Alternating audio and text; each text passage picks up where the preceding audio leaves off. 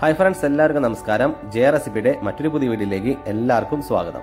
ഇന്ന് നമ്മൾ ഉണ്ടാക്കാൻ പോകുന്നത് വളരെ ഹെൽത്തി ആയിട്ടുള്ള ബ്രൊക്കോളി ഉപയോഗിച്ച് ഉണ്ടാക്കിയെടുക്കാവുന്ന അടിപൊളി ഒരു ബ്രൊക്കോളി റൈസ് ആണ്. ഈ ബ്രൊക്കോളി റൈസ് എല്ലാവർക്കും അറിയണ പോലെ നല്ല ഹെൽത്തിയാണ് അതേപോലെ ഉണ്ടാക്കിയെടുക്കാനായിട്ട് അധികം സമയമൊന്നും വേണ്ട. അപ്പൊ ഒരു വെറൈറ്റി റൈസ് ഒക്കെ ഉണ്ടാക്കാനായിട്ട് ആഗ്രഹിക്കുന്നവർക്ക് ഇത് നല്ലൊരു ചോയ്സ് ആയിരിക്കും. അപ്പൊ എല്ലാവരും ഒന്ന് ഉണ്ടാക്കി നോക്കാം. നിങ്ങളുടെ അഭിപ്രായങ്ങളൊക്കെ അറിയിക്കുക. ഒപ്പം ഞങ്ങളുടെ ചാനൽ നിങ്ങൾ ആദ്യമായിട്ടാണ് കാണുമെങ്കിൽ മറക്കാതെ ഒന്ന് സബ്സ്ക്രൈബ് ചെയ്യുക. അതേപോലെ തൊട്ടടുത്തുള്ള ബെല്ലൈക്കനും കൂടി എനേബിൾ ചെയ്ത് കഴിഞ്ഞാൽ ഞങ്ങൾ ഡെയിലി ഇടുന്ന ഓരോ വീഡിയോയും നിങ്ങൾക്ക് നോട്ടിഫിക്കേഷൻ വരുന്നതാണ്. നമുക്ക് നേരെ വീട്ടിലേക്ക് പോവാം. ഇതിനായിട്ട് നമ്മൾ കുക്ക് ചെയ്യാൻ എടുത്ത പാത്രത്തിലേക്ക് അല്പം ഓയിൽ ഒഴിച്ചു കൊടുക്കാം. ഇതിന് നല്ല ടേസ്റ്റ് ഉണ്ടാവാനായിട്ട് റിഫൈൻഡ് ആയിട്ടുള്ള ഏതെങ്കിലും ഓയിൽ വേണം എടുക്കാനായിട്ട് വെളിച്ചെണ്ണ ഉപയോഗിച്ച് കഴിഞ്ഞാൽ ഇതിന് കറക്റ്റ് ആയിട്ടുള്ള ടേസ്റ്റ് കിട്ടില്ല. ഓയിൽ ചൂടായി വരുന്ന സമയത്ത് ഇതിലേക്ക് കുറച്ച് സ്പൈസസ് ഒക്കെ ഇട്ട് കൊടുക്കാം. ഒരു കഷ്ണം കറുകപ്പെട്ട മൂന്ന് ഏലക്കായ മൂന്ന് ഗ്രാമ്പു ഇത് നമുക്ക് ഇതിലേക്ക് ഇട്ട് കൊടുക്കാം.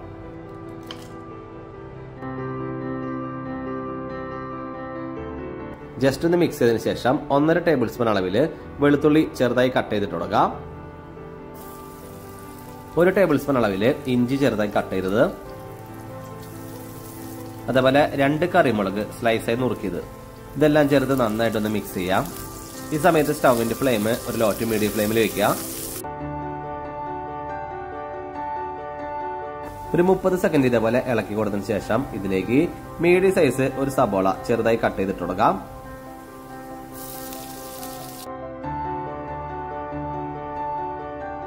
അതേപോലെ ഇതിലേക്ക് ആവശ്യത്തിന് ഉപ്പും കൂടി ചേർത്ത് സബോളയുടെ പച്ചമുളക് മാറി വന്നവരെ ഒന്ന് വഴറ്റിയെടുക്കാം.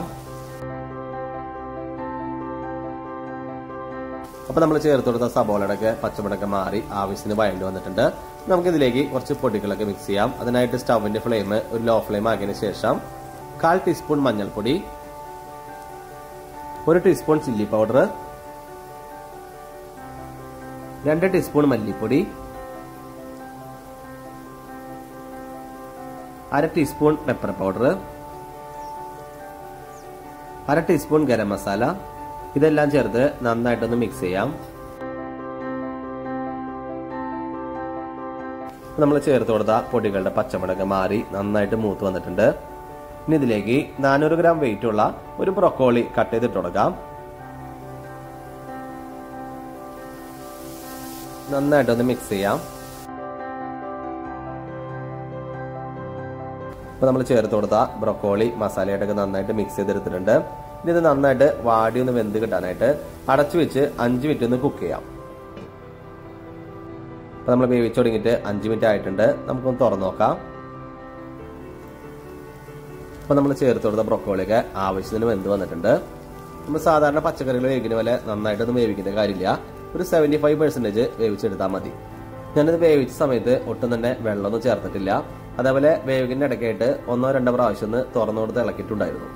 ഇനി ഇതിലേക്ക് ഒരു കപ്പ് ബസുമതി റൈസ് എൺപത് ശതമാനം വേവിച്ചെടുത്തത് ഇട്ടുകൊടുക്കാം.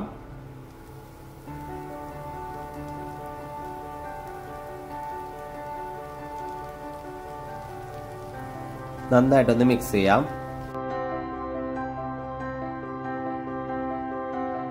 അപ്പൊ നമ്മുടെ ബസ്മതി റൈസ് ഏകദേശം റെഡി ആയിട്ടുണ്ട്. ഇനി അവസാനമായിട്ട് കുറച്ച് മല്ലിയിൽ ഇട്ട്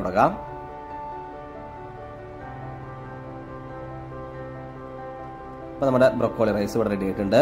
നമുക്കിനി ഇതൊരു സെർവിംഗ് ഡിഷിലോട്ട് പാർത്താം. അപ്പൊ നമ്മുടെ അടിപൊളി ടേസ്റ്റ് ആയിട്ടുള്ള ബ്രൊക്കോളി റൈസ് ഇവിടെ റെഡി ആയിട്ടുണ്ട്. എല്ലാവരും ഒന്ന് ട്രൈ ചെയ്ത് നോക്കാം. വളരെ ഈസി ആയിട്ട് നിങ്ങൾക്ക് ഉണ്ടാക്കിയെടുക്കാവുന്നേ ഉള്ളൂ. അതേപോലെ വീട്ടിൽ വരുന്ന ഗസ്റ്റുകൾക്കൊക്കെ വളരെ എളുപ്പത്തിൽ തന്നെ നിങ്ങൾക്ക് ഇത് ഉണ്ടാക്കി കൊടുക്കാം. അപ്പൊ നല്ല ഹെൽത്തി ആയിട്ടുള്ള ഈ ബ്രൊക്കോളി റൈസ് എല്ലാവരും ട്രൈ ചെയ്തതിന് ശേഷം നിങ്ങളുടെ ഫീഡ്ബാക്ക് ഒന്ന് അറിയിക്കുക.